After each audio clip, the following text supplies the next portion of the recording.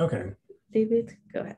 All right, thanks. Thanks again, Keva. So I'm going to tell you now in, in the remaining uh, half hour about more recent work um, that uh, that uh, deals with trying to understand the dynamics in a system that's known as interphase chromatin. If you're not uh, familiar with chromatin, I'll explain what that is in, in just a, a minute. Um, this was uh, this is collaborative work. A lot of the work that I'm going to show was performed by my uh, former uh, PhD student Achal Mahajan, who's now at MathWorks, and this is also a collaboration with uh, Mike Shelley and Wen Yan at uh, the Flatiron Institute and Alexandra Zidovska at, at NYU, who's uh, been doing all the experiments that I'm going to show. Um, so what's chromatin? Just a little bit of background. So here's a, a cartoon of a kind of a generic uh, human cell, um, which contains a lot of stuff, all these organelles. And what we're really going to be on, for, focusing on in this talk is what happens here inside the, the nucleus. And of course, the nucleus is the, the control center of the cell that uh, makes all the decisions because it contains our, our genetic information. And chromatin is really nothing but, well, not just nothing but, but it's a fancy word for DNA, right? Uh, so it's essentially the functional form of DNA inside uh, the nucleus. Uh, and so this is more precisely what chromatin looks like inside the cell. So you're all familiar with the, the DNA helix, uh, which encodes our genetic information in the form of this sequence of base pairs. Uh, the DNA helix is not present by itself in the cell, uh, rather it's associated with many different types of proteins, uh, and specifically, it tends to uh, wrap around these sets of proteins that are known as histones to form this kind of uh, beads on a string uh, configuration, which then folds hierarchically into higher order structures, all the way up to these mitotic chromosomes that we're familiar with from, uh, from uh, high school biology, which are the chromosomes that you observe during cell division. Um, this is a highly complex process, which is not completely understood. And just to give you a sense of the, the, the complication, we're thinking about packing two meters of genomic DNA uh, in human cells inside a, a, nucleus, which is on the order of tens of microns in size. So this is a, a very, very complex process. in between cell divisions, uh, these mitotic chromosomes are not uh, in the shape that I'm showing here, but uh, this is really what you should have in mind. So the, the mitotic chromosomes are not condensed, and the chromatin is really loosely packed inside the nucleus. So you should really think of this as some kind of uh, uh, polymer solutions that's confined inside this, this envelope. Um, there's been a lot of work trying to understand the, the, the, spatial arrangement and the structure of chromatin. And so I'm just going to highlight a few uh, experiments that have looked at this. So um, a few years ago, um, these beautiful imaging experiments from colleagues here at UCSD uh, we're able to look at the, the structure, the density of, of uh, chromatin across the nucleus. And what you find is that um, it's really uh, very heterogeneous. So you have regions that are very dilute, regions that are very dense. And for comparison, this is the density of mitotic chromosomes here on the bottom right. So you really should be thinking of this disordered polymer chain, which is arranged inside the, the, the, the nucleus in a very heterogeneous fashion. Um, other techniques that have been used to try to describe the organization of chromatin uh, include Hi-C maps, which is a technique that allows you to measure the probability of contact between two loci, so two locations along the chromatin. And uh, so you can do, actually do this experimentally, and, and this reveals a lot of interesting features, which I'm going to briefly summarize here, uh, depending on the length scale uh, where you look, uh, you have these uh, different types of features that are observed. So let me explain first what these maps show. So you, have, let's say, one chromosome on the vertical axis, another chromosome on the horizontal axis, and the color shows you the, the frequency of contact between two uh, locations along these chromosomes. So obviously you have a, a, a, a high probability of contact along the diagonal because you're more likely to interact with yourself or your neighbors than you are with other chromosomes that are further apart on uh, short scales, uh, people have uh, noticed that you have features that are known as TADs here, which are topologically associated domains, which are characterized by these uh, kind of square patterns with these uh, peaks of the diagonal. And these are thought to be associated with the formation of loops along the chromatin, which are, uh, which are created by proteins known as loop extruding factors. If you zoom out, then you end up seeing compartments, which are uh, highlighted by these plaid patterns and these Hi-C maps. And these correspond to, again, pieces of chromatin that tend to frequently interact with themselves or with the neighbors. And finally, you zoom out and you find what are known as chromosome territories, which correspond to individual chromosomes. So each chromosome occupies a specific uh, region of the, of the nucleus. So there's, as you can see, this is a very uh, complex problem, uh, but a lot of the work that's been done until now has looked at this from a static point of view, right? This just tells you if you take a snapshot, uh, how is the chromatin organized? As it turns out, chromatin is not uh, static inside the nucleus and it's highly dynamic. And this is really what I'm going to focus on in, in this talk. Um, so this is an experiment by my collaborator, Alexandra Zidovska, who uh, is at NYU, as I mentioned. And um, she developed this technique uh, known as displacement correlation spectroscopy that allows us that allows her to visualize the entire cell nucleus of live uh, of live cells, uh, which is what you're looking at here. So this is a nucleus of a HeLa cell, and uh, the green uh, fluorescent signal that you're looking at is the is the chromatin that's been tagged. The histones specifically can can be made to fluoresce. Uh, just to give you a sense of scale, it's about 15 microns across. And uh, if you look at this movie, you see that there's a lot of motion. Uh, some of it, of course, is uh, Brownian motion, given the scale. But if you squint a little bit, uh, you might be able to tell that you also have some coherent motions that are taking place. It's kind of hard to see in this movie, but the, really the best way to see this is to do some analysis on these images. Uh, you can do essentially something similar to particle image velocimetry, which is that you take two images and you cross correlate to determine a displacement map. And this is what uh, these maps look like. Uh, so I'm showing two uh, cells here. The, the top row is a wild type cell and the bottom row is an ATP depleted cell. And what you're looking at here are displacement vectors over a certain time scale delta t, and they're color coded according to their direction. So let's focus on the top row. Uh, what uh, hopefully uh, jumps at you is that you have these large regions, for example, right here in the middle, that uh, have a single color, this kind of bluish purple. And that means that this whole region is moving coherently in the same direction. In fact, you can see that all the vectors are pointing to the bottom left. And so you have these large coherent motions uh, that occupy regions on the orders of sizes of microns that, that uh, have durations of multiple seconds that are observed in these, in these experiments. If you do the same experiment on an ATP depleted cell, these coherent motions essentially disappear and you start seeing much more uh, uncorrelated and random uh, motions, which are more typical of Brownian noise. So this tells us that uh, clearly there's some active processes that are happening inside the cell, and this is what we'd like to understand. Uh, how do these active processes conspire to, uh, to give rise to these large-scale motions? So you can be a little bit more quantitative. You can calculate its um, autocorrelation function of the displacement maps. And uh, consistent with the, the results from the previous slide, you find that it decays fairly slowly uh, in the wild type cells, but much more rapidly in the ATP depleted cells. Uh, so there are coherent motions, and we'd like to come up with a, a basic model that perhaps uh, can help us understand where these come from. And so our, our hypothesis is that these are caused by active enzymes, uh, such as RNA polymerase, topoisomerase, helicase, et cetera, et cetera, that exert stresses on the system as they perform their functions and somehow cooperate to drive, to give rise to large scale flows. So what's going on inside the, the, the, nucleus, a lot of stuff, and I don't pretend to be an expert in any of this, but uh, I hope that you're all familiar with uh, um, RNA polymerization. This should not be transcription, this should be polymerization um, in which RNA polymerase uh, walks along the DNA chain, unzips it, uh, uh, uh, then copies it into an RNA segment, and then rezips it. And this involves active stresses, clearly. There's also replication that takes place, and then you also have proteins that are known as chromatin remodelers that essentially uh, act to condense and decondense fragments of chromatin. So all of this is extremely complicated, but this clearly involves ATP and uh, internal generation of stresses. And so this is going to be the premise for our model. So here's the first model that we came up with, and I'll show you a slightly more uh, sophisticated model later on. So we're going to simulate a long flexible polymer that's contained inside a spherical cavity, as you can see here on the right. So this is a single chain. Um, and that chain is, uh, in this first version of the model, a bead rod chain. So we're going to think about, think about rigid links that are connected by uh, freely jointed beads. And this is really a coarse grain model. So you should think of each uh, link in this chain as being some, or some piece of chromatin with all its associated proteins and enzymes and so on.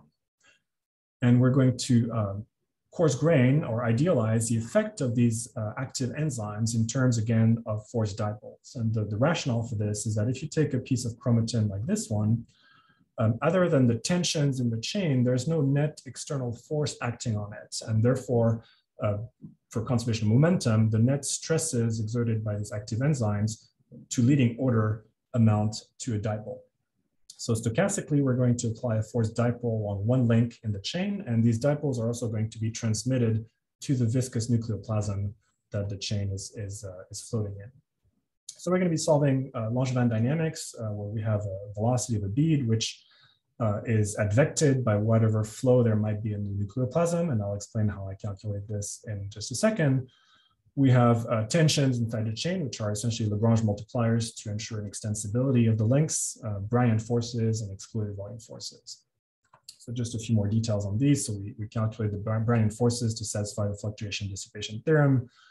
Um, excluded volume is just achieved using a, a soft repulsive potential.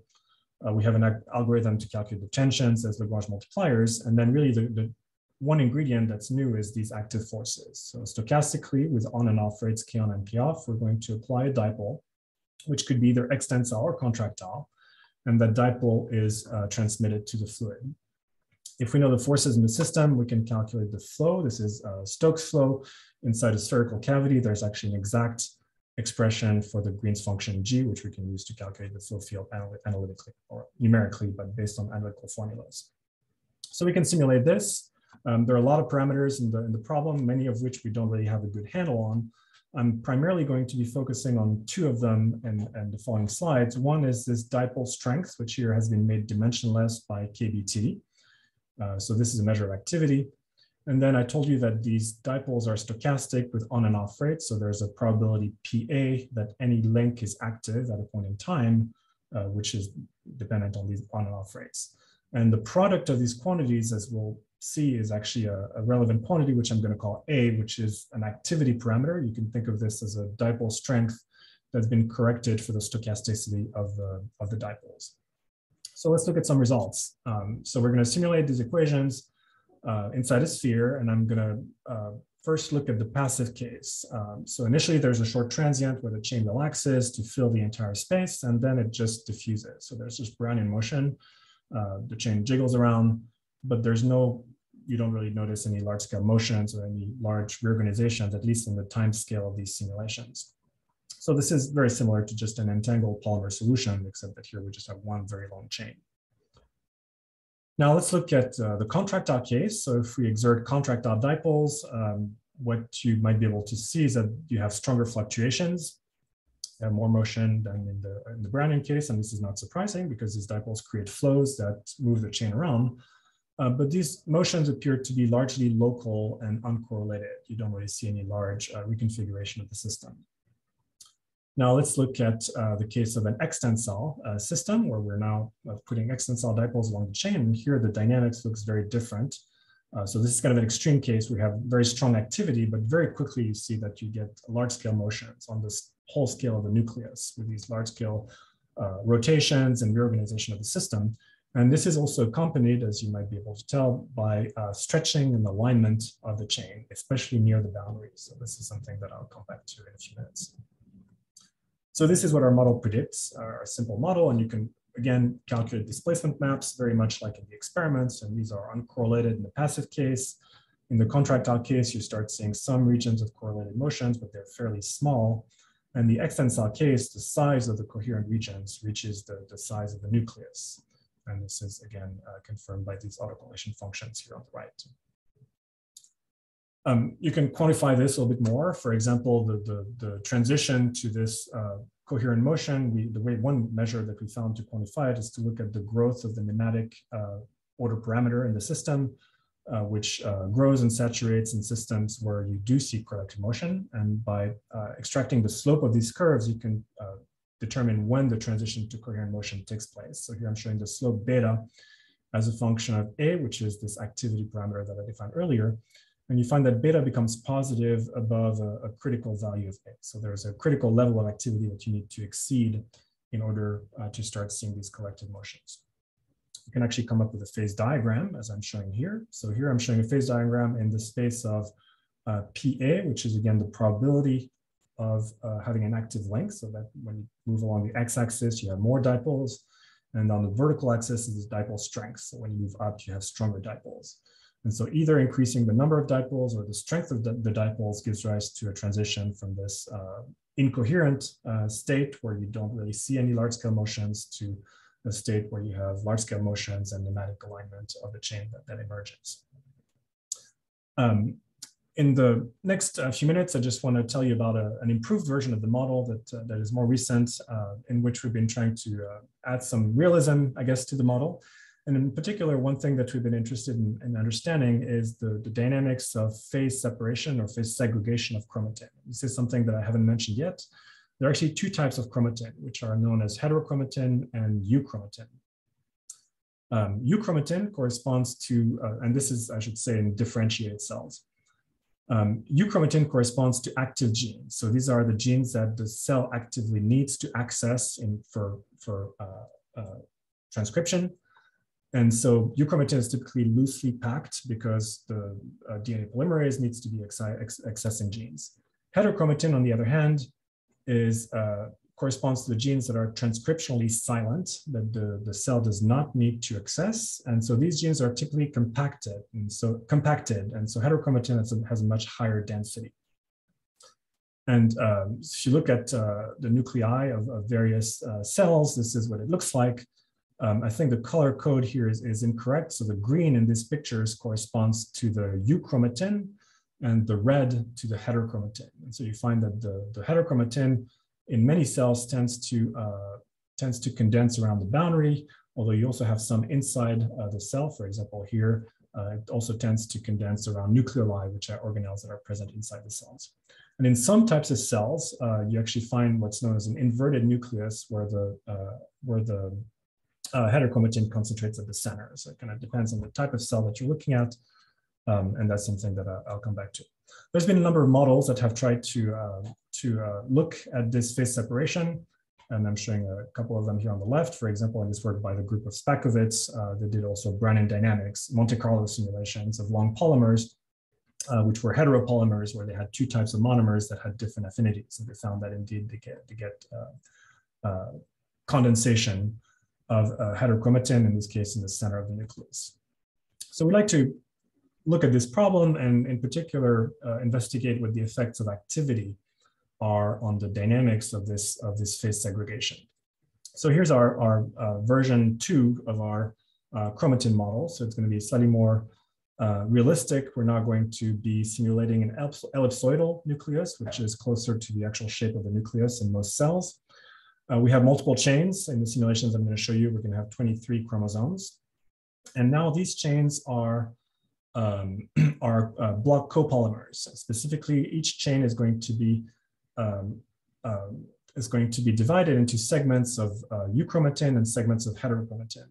Euchromatin is going to be active. So this, this is where we're going to be applying uh, force dipoles, very much like in the first version of the model. And heterochromatin, the blue segments here, is going to be passive, meaning that there's no force dipoles that are exerted there. And heterochromatin can cross-link with itself, either interchain or intrachain. So we have stochastic cross-links that can form when two beads get close to one another.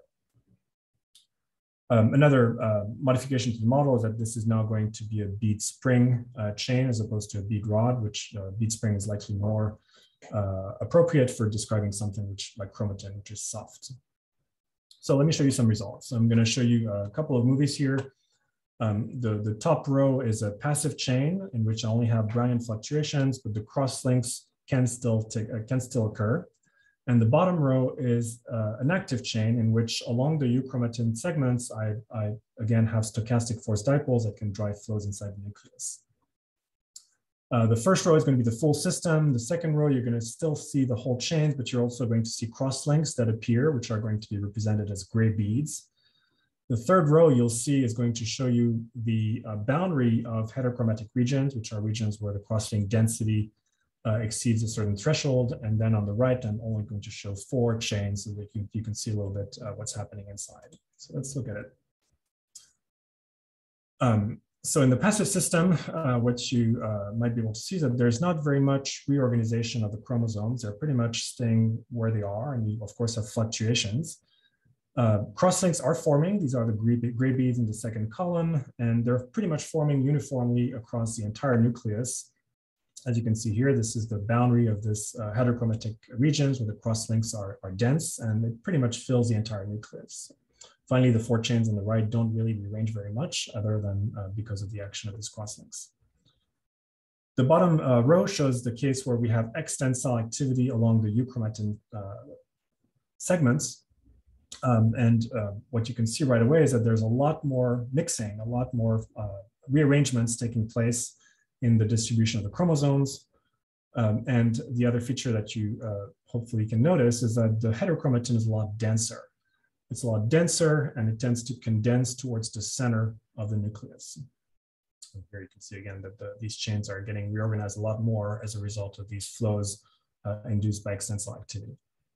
So just to summarize, in both cases, we have formation of heterochromatin, but the compaction and segregation of heterochromatin is much stronger in the case where we have these uh, extensile flows. So we can quantify this uh, in various ways. So um, I'm, I'm going to be fairly brief as I'm almost out of time. Uh, but we've, for example, looked at the, the uh, variance of the, of the mass distribution of both types of chromatin. And we find that the heterochromatin here denoted by the full lines tends to migrate towards the center of the nucleus when that's not the case with the euchromatin. We've also looked at the density of heterochromatin as a function of time, uh, which increases with activity. That's the red curve, which has the highest level of activity. And we find that this increase of activity is due to both an increase in the number of beads that are getting entrapped inside these uh, dense regions and a decrease in the volume. In other words, you have denser uh, regions that also contain more beads. And here's just a snapshot of, of some density fields across uh, a cross section of the nucleus, where we find indeed that we have a concentration of heterochromatin in the center uh, in the case where we have extensile activity. Um, the origin of this is all in the stresses. So we can actually calculate stresses, calculate uh, nematic fields. And what we find is that there is strong nematic alignment inside euchromatin, at least at high levels of activity.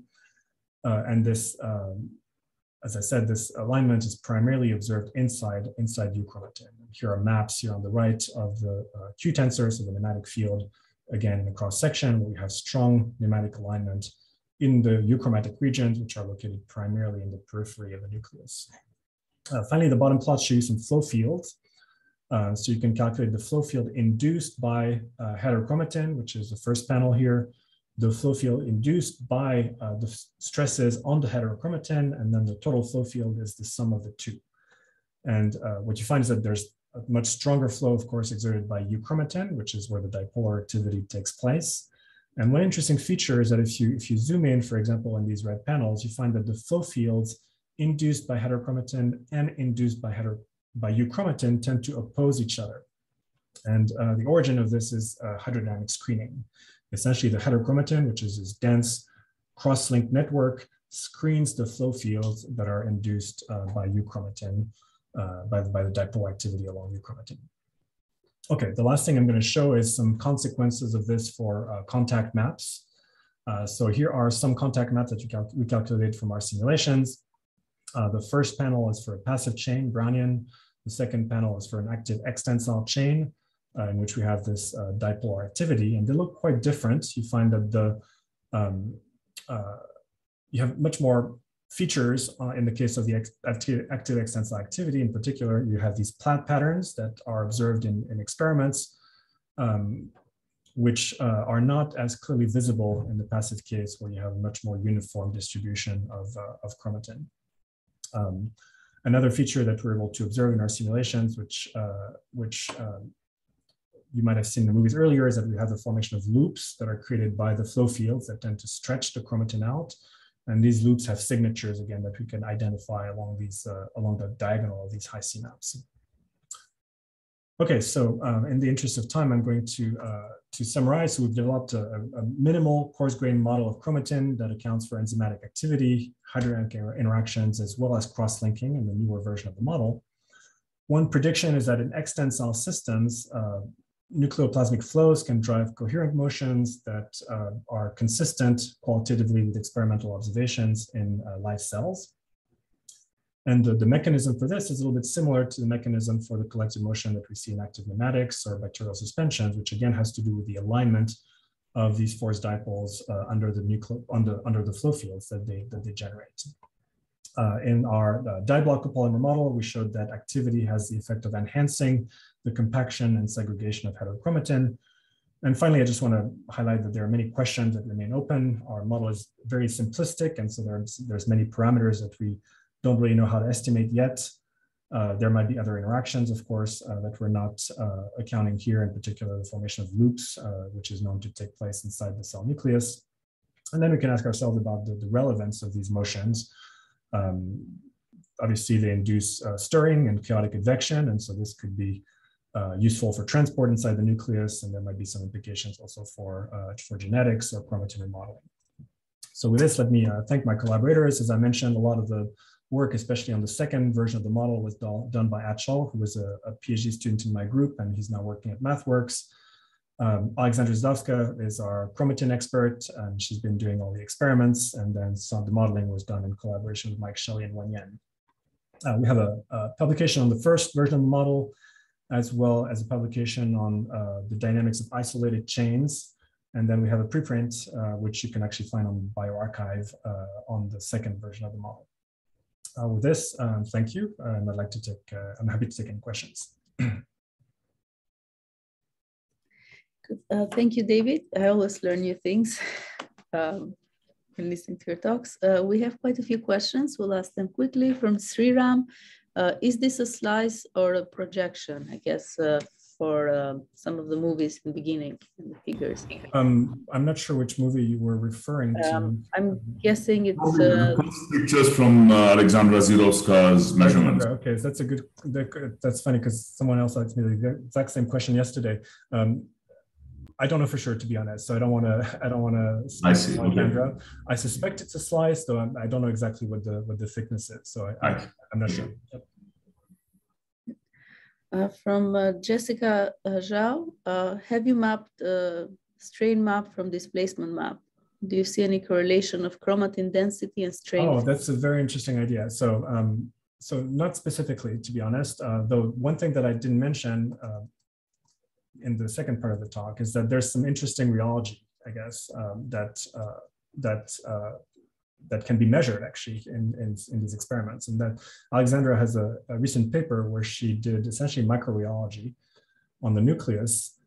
Um, and she finds that inside heterochromatin, the behavior is very much like a, a solid, like a Maxwell solid. In euchromatin, it's more like an active fluid. Uh, so there's definitely some uh, some interesting rheological or mechanical measurements that you can that can, you can infer from the displacement maps. So there's definitely some some interesting modeling that could be done there as well, but we haven't really uh, gone into that uh, direction yet.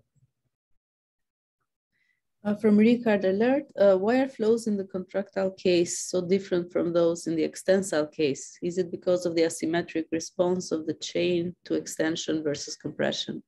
And Sriram uh, answered this maybe. Right. So I guess so. This is possibly wrongly.